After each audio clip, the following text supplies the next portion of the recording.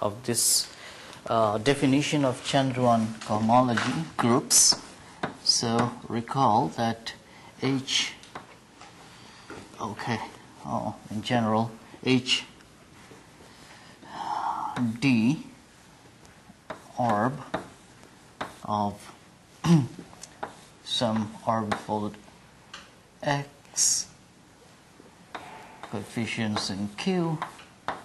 This is the direct sum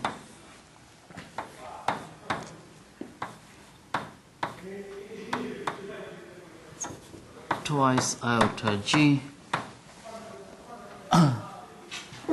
you can take de Rham or singular here and this twisted sectors Q and if x uh, is given by as the quotient of a action of a group on a manifold M where G could be finite or a compact Lie group then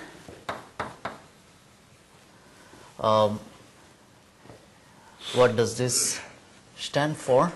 X G, the twisted sector is the fixed point set of the element G.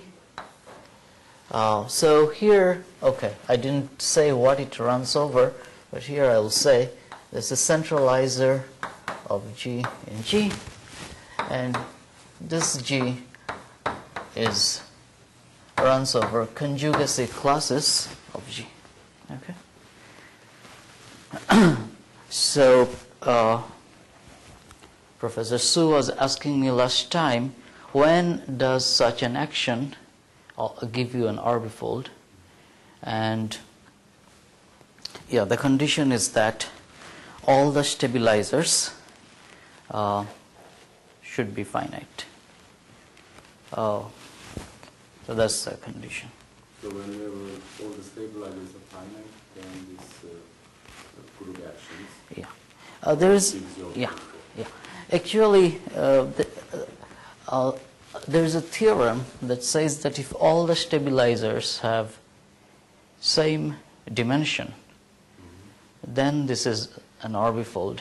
But there, I mean, what they probably mean is that you can always cr- uh, take direct product of G with some group that acts trivially, but you have to uh, reduce by that action. So, so I think basically if G is a, the theorem is about action of compact Lie group. So anyways, so this is from last time what uh, I was doing. And uh, what I said is that if X has complex structure, then um, this I could have the Dolbeault cohomology PQ, and it should be reduced by, I mean, push up by P minus iota G, Q minus iota G. Okay, so let us, um, and if you were not there last time, okay, okay. And this uh, iota G needs an almost complex structure on the orbifold. And for simplicity, what is an almost complex structure on the orbifold? In this case, uh, this is a G-invariant almost complex structure on M. In the general case, if you uh, have a groupoid, then it would be an almost complex structure on the space of objects, an almost complex structure on the space of morphisms, and you would need all the structure maps to be almost complex with respect to those almost complex structures. Okay, so uh, I want to introduce this uh, interesting phenomenon called McKay correspondence.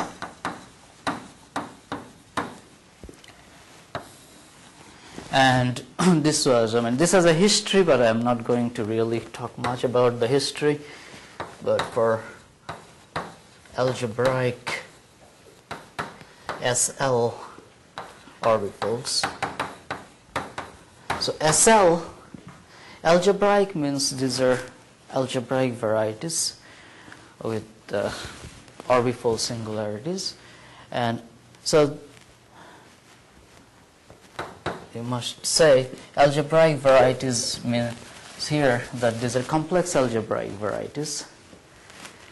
So these are basically algebraic varieties over C with so-called quotient. So they have a complex uh, analytic uh, topology, and in that topology, the singularities are always of the form Cn mod G. So these are called quotient singularities. So these are locally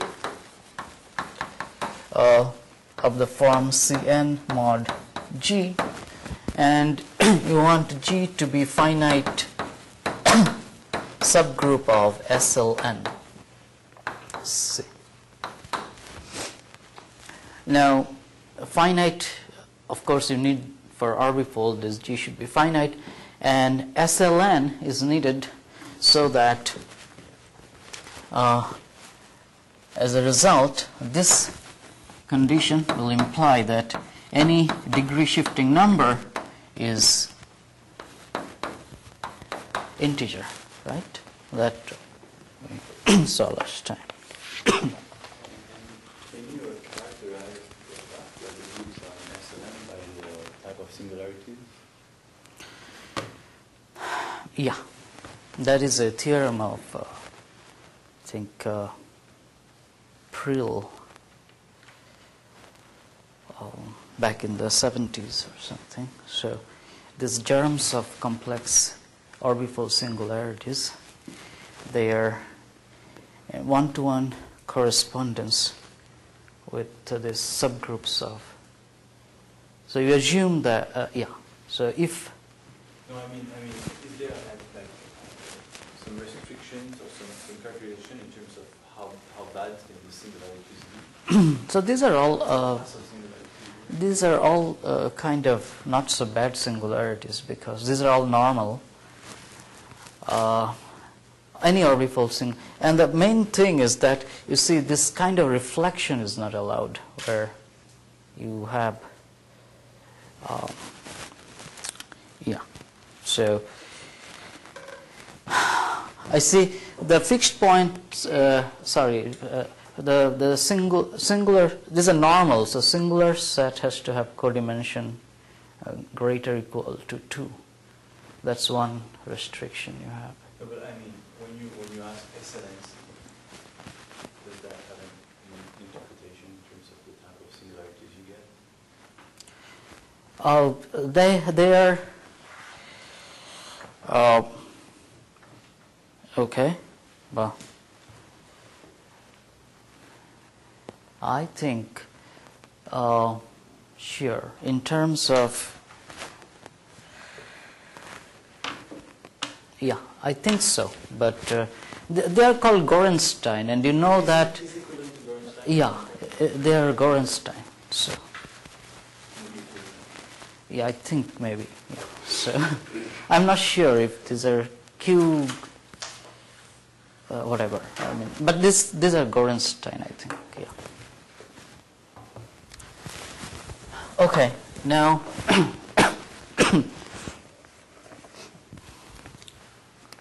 so let me just uh, have to rewrite this again. X being uh, complex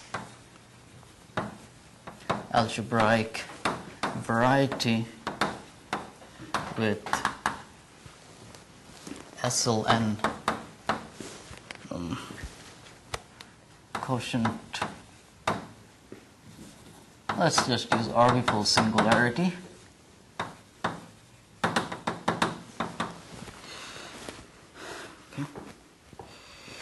Then um,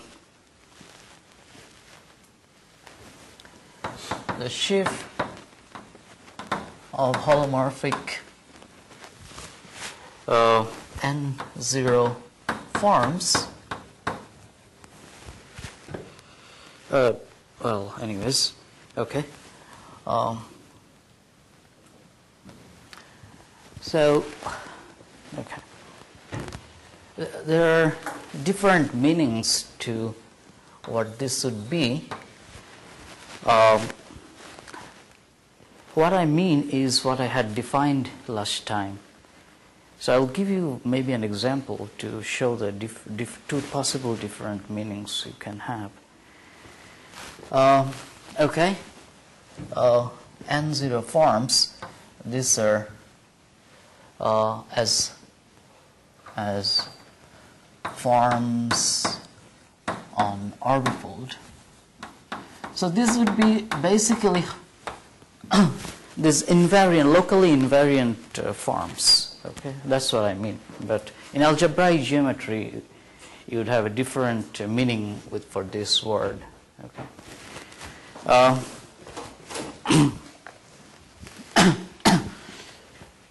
this sheaf will be the canonical sheaf. In algebraic geometry, this would be called, this would have a different construction. Uh, anyways, is in fact uh, a vector bundle over X. And Okay. That follows from this fact that uh, this is the.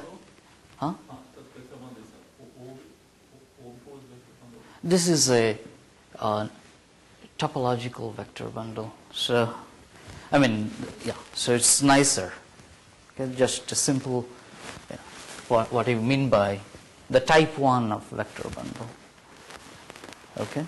And that is because this is basically N0 forms, so holomorphic N0 forms, but the uh, action is in SLN, so preserves determinant. So that's the reason why this becomes, this descends to a nice vector bundle on the topological space. So let me give you an example. Uh, example would be Is the statement? Then the sheaf of holomorphic N0 forms, which is Kx. Yeah. Correct. Kx is the holomorphic N, N1 form. N, N0 forms. Yeah. Th- that, that becomes a bundle. That's usual, I mean, algebraic variety, you a canonical, canonical sheaf. Yeah, if you have a smooth algebraic variety, you have a canonical sheaf is same as this differential forms. Uh, if it is singular, then the construction is different. You have to use these extension uh, shifts. So, okay. So uh, let me give you a simple example to show. So X is say C2 mod the cyclic group of order 2 and say this action is uh, G. Z2 is say the group consisting of two elements and G acts on so x1, x2, the coordinates by taking them to minus x1, minus x2. And then, of course, as an algebraic variety, uh, this uh,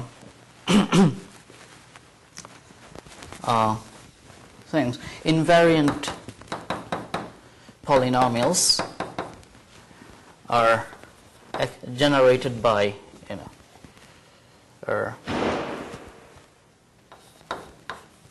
x1 squared, x2 squared, x1, x2.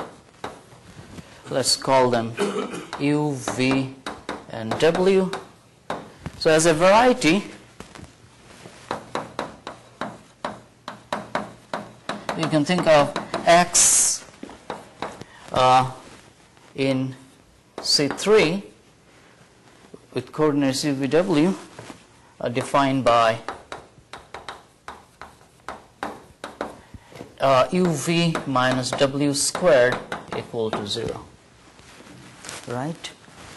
And oh I lost that one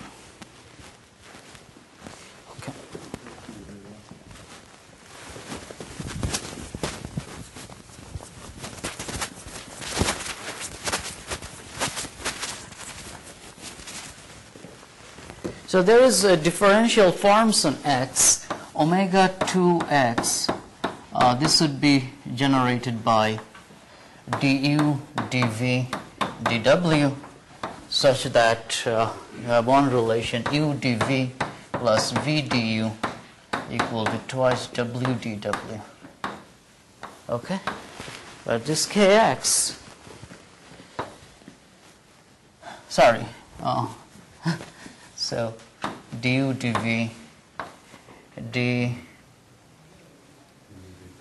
yeah etc du dw etc now but this kx uh, is actually so the invariant what is invariant here? Dx1 dx2 is invariant. This is actually generated by dx1 which dx2 and what is this? This is something like 1 over this is generate 1 over w du dv so there is a difference. Okay. So there is a difference. Okay. Now No. So in some sense, this is easier, this sheaf is easier to define uh, in, for differential orbifolds if you consider this algebraic variety as a differential orbifold than if you consider it as an algebraic variety. But, uh, okay. Now let, okay, so let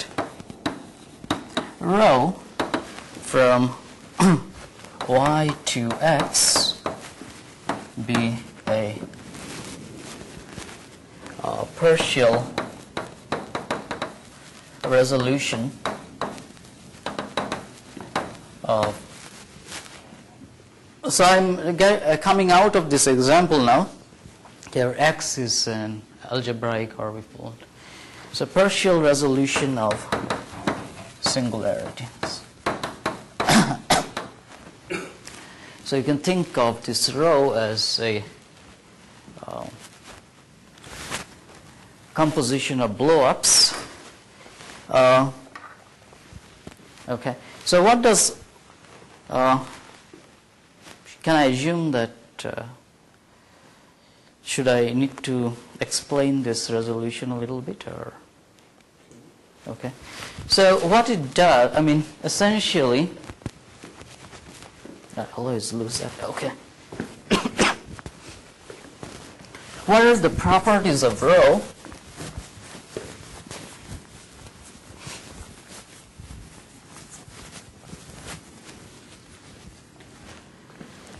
Okay. Rho is regular Regular means locally, so these are algebraic vari varieties. Uh, this is locally given by polynomials. Okay? Rho is birational. That, that means that that is, it has a inverse which is no longer given by polynomials but is uh, rational that is given by know, by rational function locally. So of course rational function is not uh, defined everywhere. Whenever the denominator is zero, it's not defined. Okay? And and rho is isomorphism on rho inverse is say, isomorphism on x minus the singular locus of x.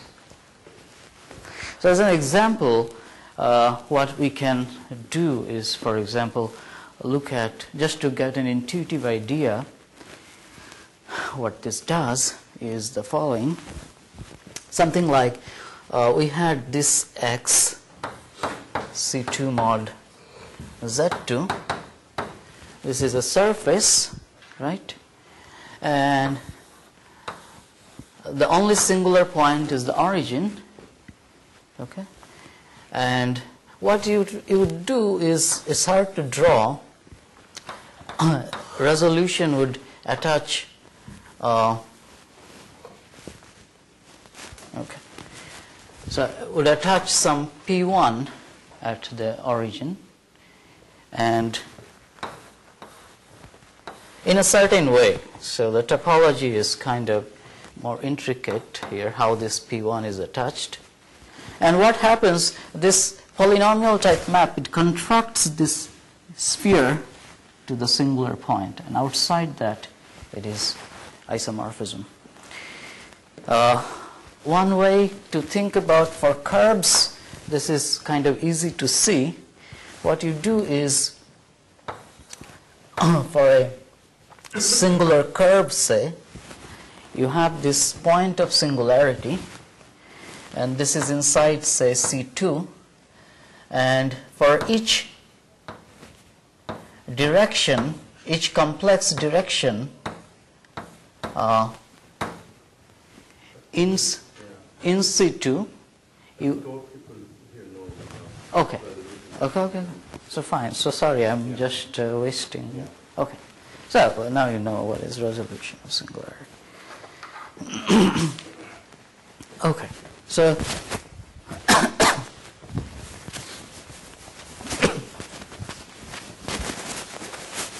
Okay, so sorry, I shouldn't erase that.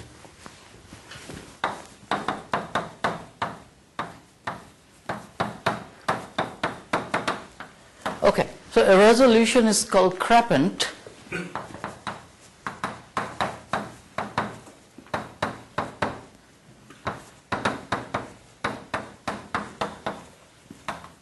So y may be smooth, may be still an orbifold.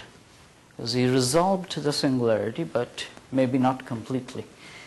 Uh, if uh, the pullback of the canonical bundle of x equals canonical bundle of y. Okay? And okay, I will give examples at the very end.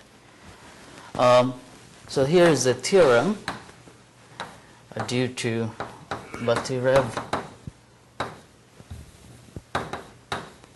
and Denev Lozier says the following. If x is Cn mod G, G is finite subgroup of SLN, then uh, the orbifold, okay, and rho from y to x is Crepant resolution.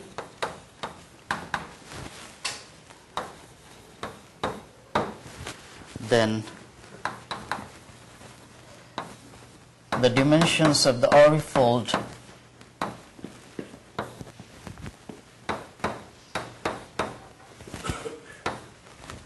Dolbeault groups equal to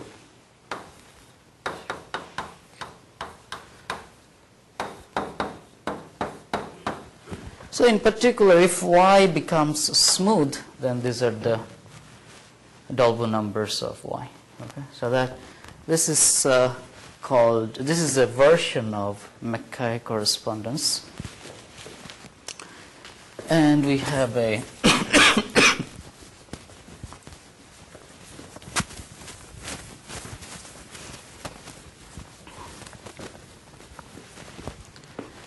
stronger theorem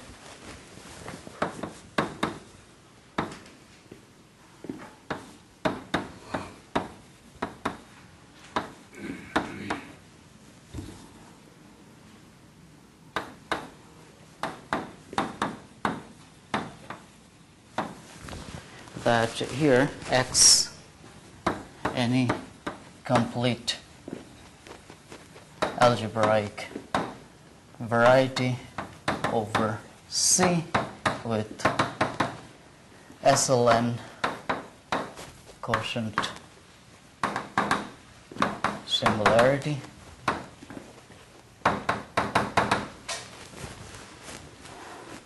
Rho y2x crepant then HPQ orb of y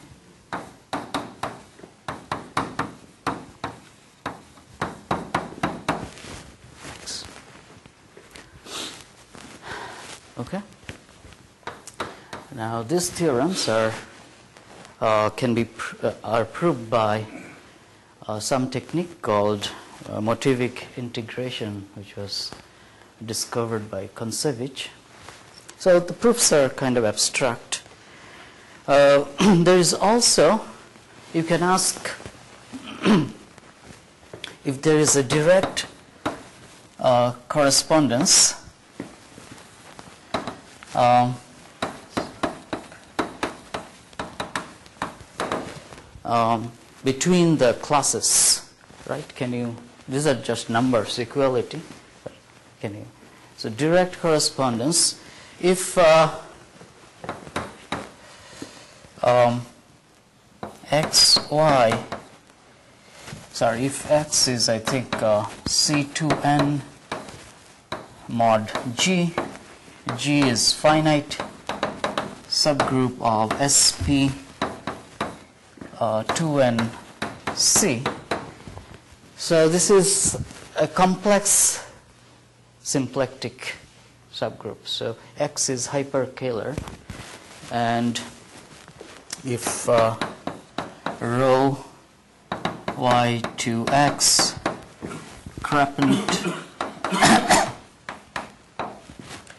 uh, I guess Y also is hyperkähler. I don't know if it is naturally hyperkähler or you impose the condition. Uh, then correspondence between uh, classes uh, orbifold for homology classes. Okay. In particular, yeah, in dimension 2, uh, SL2C and SP2C, they agree. And that was the first case uh, studied in examples by McKay and anyway, so there's some history. Okay, so this is kind of what I want to do for quasi-toric orbifolds. So I want to define this quasi-toric orbifolds. Uh, in some sense, this, uh, you see, this theory of quasi-toric manifolds, well, it's nice. Uh, the toric variety theory has, you know, it has also uh, coming with this theory, I mean, this um, on, on maps between toric varieties, like you have these birational maps. So I want to develop something similar for quasi-toric manifolds and orbifolds. So you have this equality of this in, in, the, in this last theorem. Yeah. You also have the same equality of the homology. Where? Here. Here, yeah, of course. Uh, uh, this hyperkähler is uh, kind of special. Um, there is some um, theorem by Ruan which says that quantum cohomology, in fact, it does not behave nicely with respect to uh, maps, but if you have hyperkähler structures and the maps uh, commute with those, then even quantum cohomology in dimension 3 has proved uh, behaves nicely, and this is some special case. Anyways, okay, fine. so uh, I won't give you examples now, but maybe at the very end. So let me try define quasi-toric orbifolds, and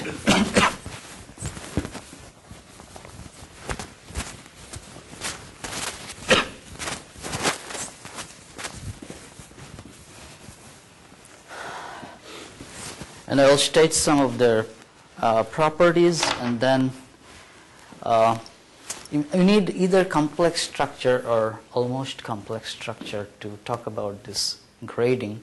So I want to put some almost complex structure on quasi-toric orbifolds and that I can only do in dimension 4. So I'll give some special description of four-dimensional quasi-toric and then I will try to construct some uh, blow-down resolution maps, or I'll call them blowdown maps. We'll contract some spheres, and then I study.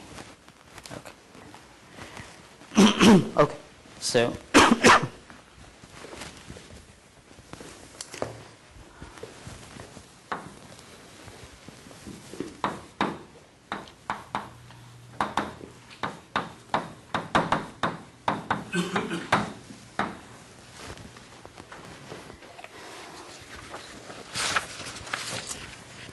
P in Rn.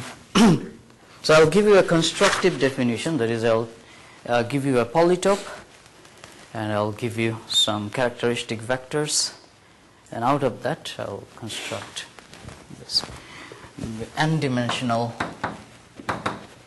simple. And simple just means that at if every vertex of this polytope P there are exactly n codimension 1 faces that meet. It's like uh, if you take the uh, first orthant in Rn, then you have these n um, hyperplanes uh, that meet. So it's modeled on that. Simple convex polytope.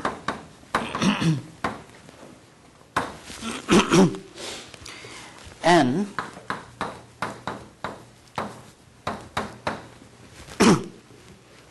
z module. There will be several z modules probably coming up uh, so I get to give a name. I so you name the codimension 1 faces and in short we call these facets P. Lambda is a function from i to n so it takes every facet to an integral vector uh, be a characteristic function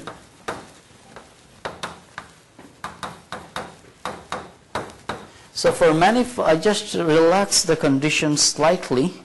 Uh, that is, if facets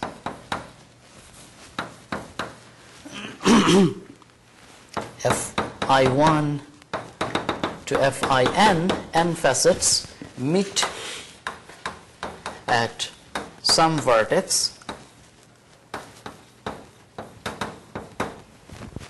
So not any collection of n facets have to meet. But if they meet, then the corresponding characteristic vectors lambda i1, lambda in are linearly independent. So they do not have to form for manifolds. We know that we require this to form a basis of n over z basis, but here just linearly independent. so in particular, if I take uh, these vectors, take the uh, determinant of the matrix formed by them, it could be any integer. Okay. Here lambda i is by definition lambda of fi. Okay, so with this data, I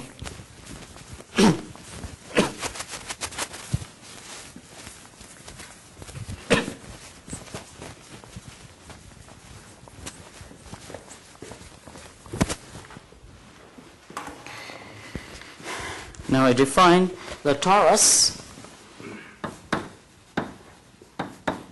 Sub n. This is n tensor R quotient by n. So this is like top is like Rn and n is right. Okay. Now if uh, M is a free uh, submodule of N, okay. again you define Tm, of course, by saying is M tensor R over M. And then there is a map from Tm into Tn. So there is natural homomorphism of Lie groups xi m from Tm to Tn. And what is this? This is just uh, m tensor r over m going into n tensor r over m. And then you quotient. You quotient right? Quotient you divide by. So you go to n tensor r over m. You quotient that by n over m right? And so this is Tn. So one inclusion and one projection. okay? All right.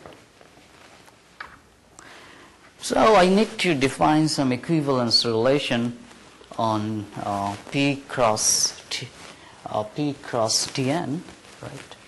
And, and just, uh, just like quasi-toric manifolds. now I need one more definition uh, for any face f. So every face uh, f of p would be uh, the intersection of some facets, right? So f is equal to f I1 to Fik.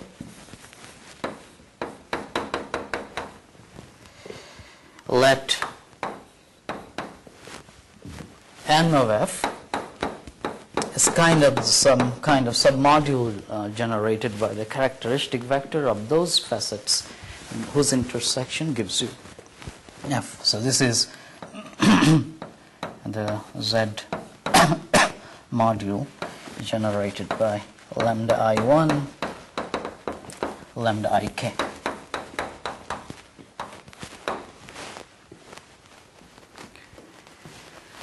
Okay, now I, uh, and of course, then I can define T and F, right? And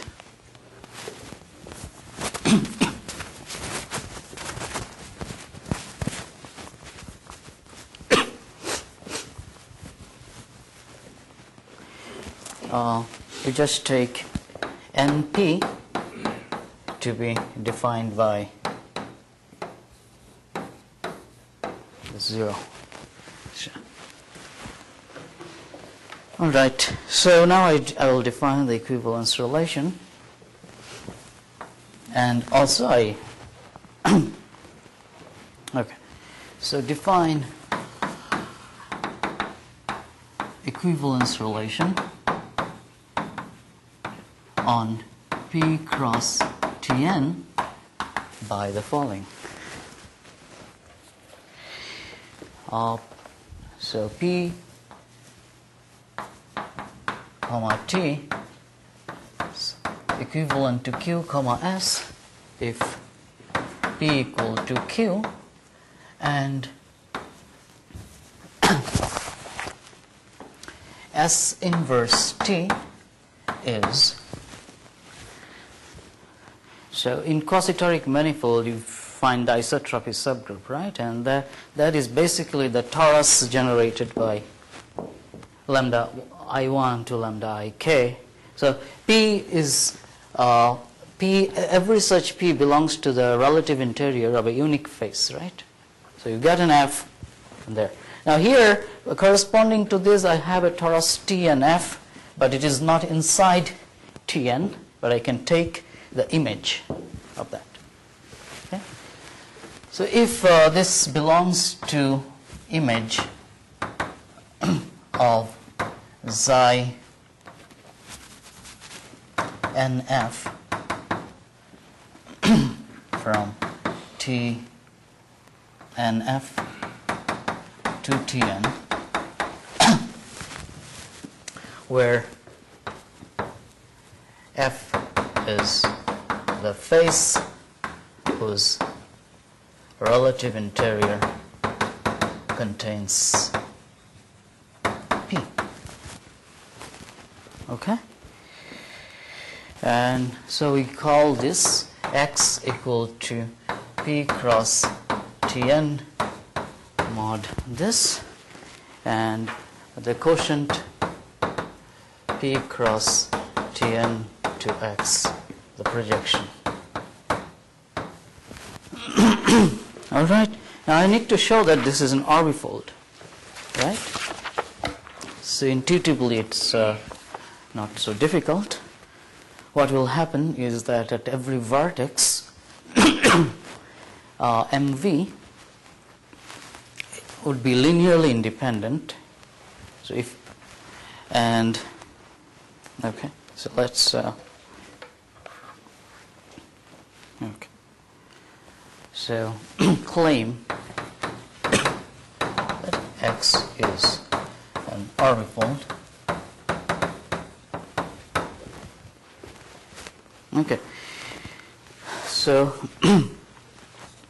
for each so at each vertex this uh, lambda i1 to lambda in there will be n n facets meeting so n of these linearly independent vectors so you'll get a uh, this nv for the vertex would be a submodule of uh, full rank and n over nv uh, would be a finite group. That is the idea. So for each vertex v in p let u sub v equal to p minus the union of faces that do not contain V, right? And let xv be the pre-image of that in the torus.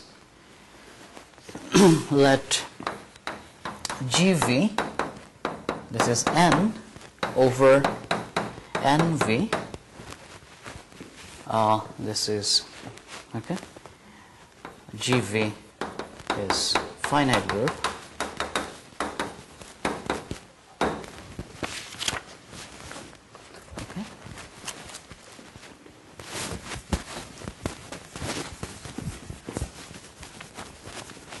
Now I want to uh, produce an orbifold chart on this uh, xv. Okay.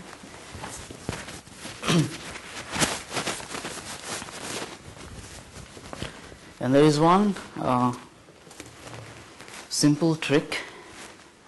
So let me draw a picture. Okay. So suppose you have lambda one.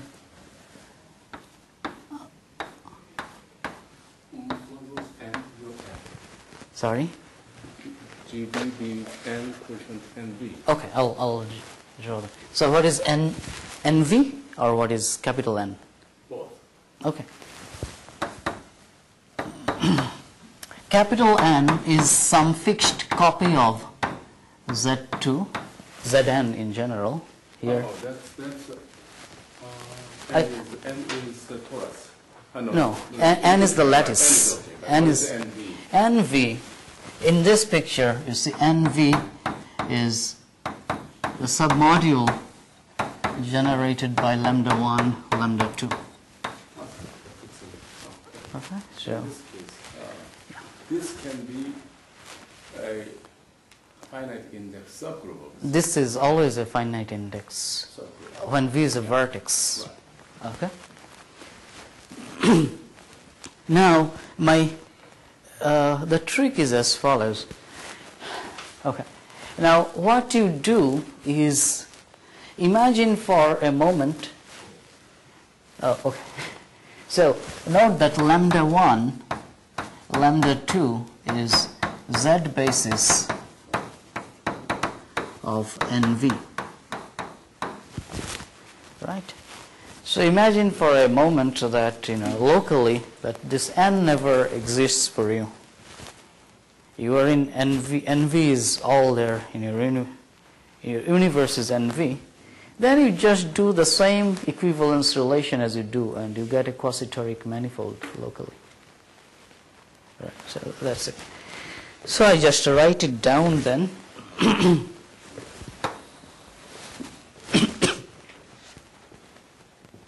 Okay. So what we want to do is, let me raise this and write that down.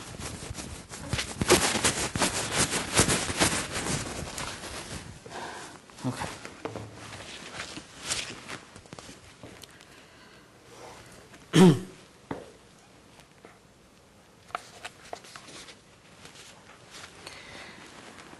Okay, now, uh, yeah. Okay. So want to build orbifold chart for uh, XV. Uh, so want to define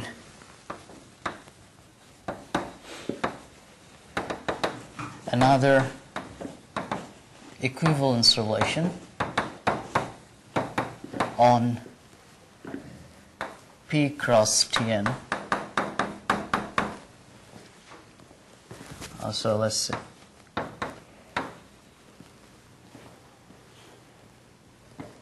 Not on this one, but on UV cross Tn. Local. Okay? uh, if F uh, contains, if a face F contains V, then NF is contained in NV. Just by this uh, simple simpleness, simplicity of the polytope, let xi vf from t and f to t and v be the natural map. So as at the beginning i had as uh, submodule m of n and i had a similar map right? One inclusion on projection. It works for any pair of uh, module, submodule, right? Free. Homomorphism. Huh? That's always a. Homomorphism. Monomorphism. No, no, no. No, because. Oh. Let's see. Okay, okay. Yeah, this is, of course, this is, uh, this is, yeah, this is right. This is a, B is a Yeah. vertex contained in Yeah. Yeah. yeah. This is uh, injective. Yeah, as uh, basis of an F extends to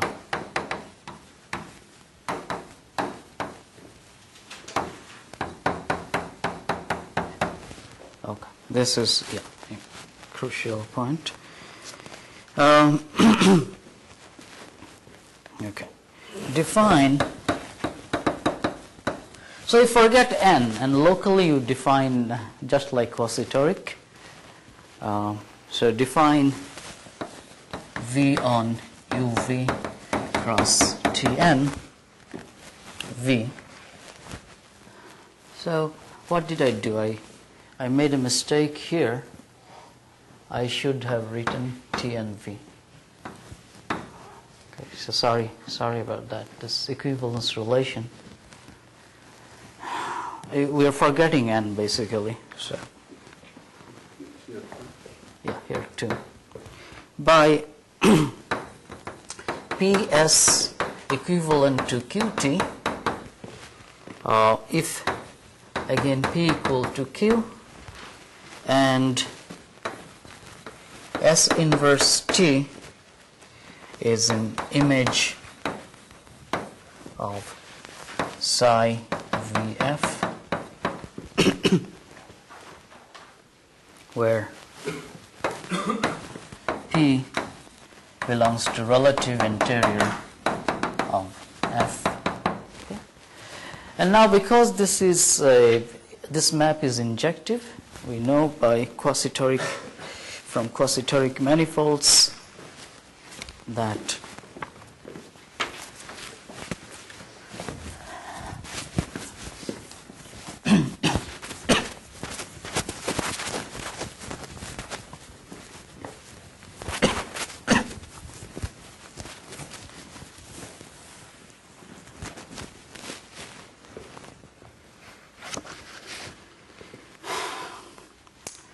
then xv is uh, okay then define x tilde v uh, to be uv cross t n v modulo okay is uh, diffeomorphic to open ball in Cn. That is now standard. Okay. Uh, this diffeomorphism would be, you know, torus equivariant up to some isomorphism of the torus. Uh, so I'll suppress that. And uh, okay, so how does it work now? I have T and F going into uh, this is inclusion, right? Into psi VF into T and V, and from there I have a projection quotient by GV into Tn. And I have this other map. This is a uh, commutative diagram, so let me maybe draw it like a square.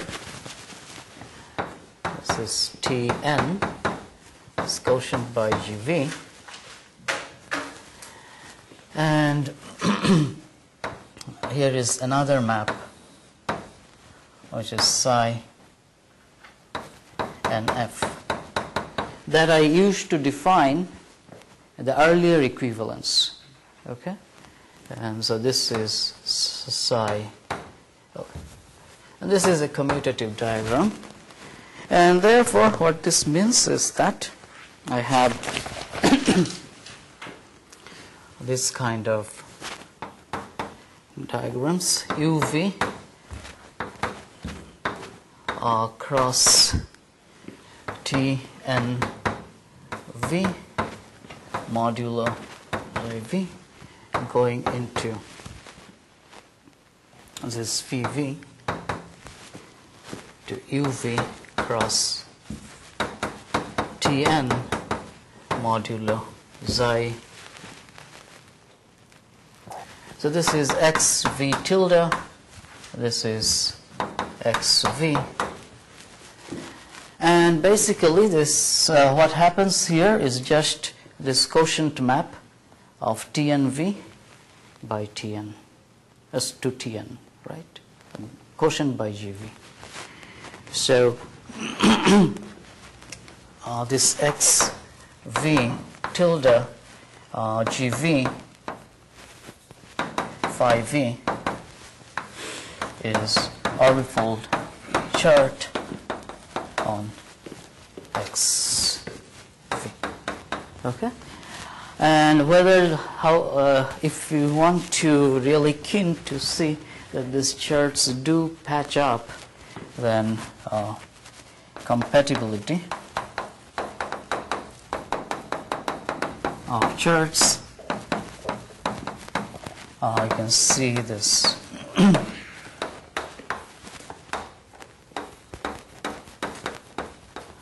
so this definition, I mean, the, yeah. So this definition and calculation of the topological invariance is work with my student.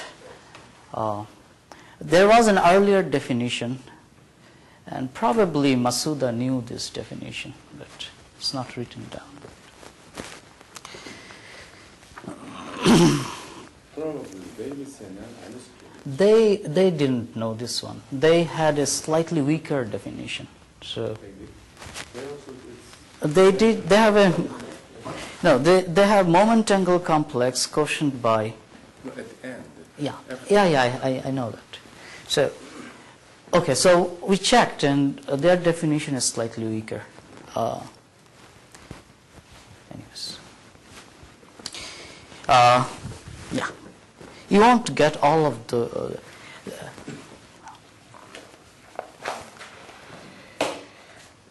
So Davis, Alice, Kevin, when they claim orbifold, it's a slightly weaker concept slightly, this is a bit more general. There are many, I mean, people have orbifold has, has developed. Yeah, uh, When they wrote on paper in Yeah. 91, I think uh, orbifold theory was not not so. very much. well yeah, not in- So they just had vague ideas. Yeah. Um, So you can also define the momentum complex.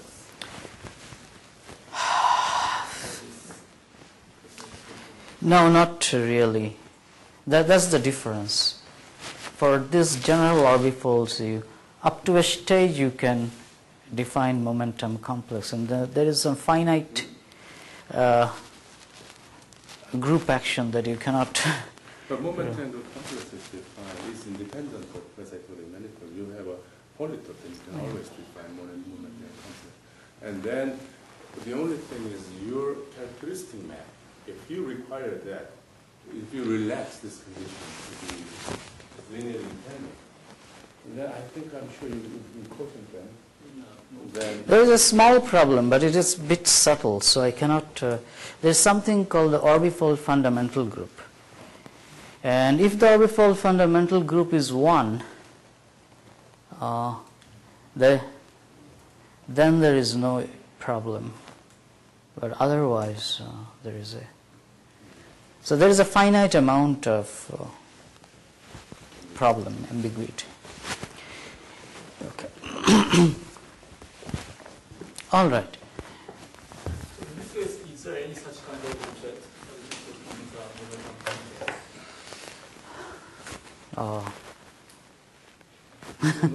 I Well, so what, what I do is the following. Okay, sorry.